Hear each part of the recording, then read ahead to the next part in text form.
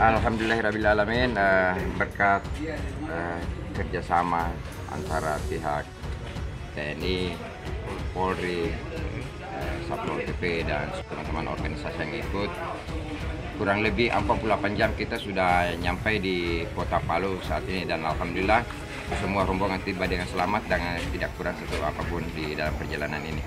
Rencana mau didistribusi di mana ini? rencana kita rencana distribusi di tempat ini sebagian, tapi kita mau ke ketemu uh, koordinasi dulu dengan wakil wali kota, wali kota Palu atau wakil wali kota Palu. Yang selanjutnya kita minta arahan dari sana uh, dan selanjutnya kita persiapkan teman-teman yang relawan untuk mendistribusi uh, logistik yang kita bawa dari uh, Kabupaten Jeneponto Sulawesi Selatan. Pendistribusian ini langsung oleh tim relawan dari Jeneponto atau dari Pengkap sini Palu? Uh, rencananya kita dari tim relawan Jeneponto, tapi kita minta petunjuk dulu dari pemerintah uh, Kota Palu dan ke keinginan teman-teman untuk uh, yang dari Jeneponto ini untuk kita bisa distribusi sendiri sehingga kan uh, bisa masyarakat Jeneponto, masyarakat yang ada di Kota Palu yang terdampak bencana itu bisa mendapatkan uh, logistik dari Jeneponto.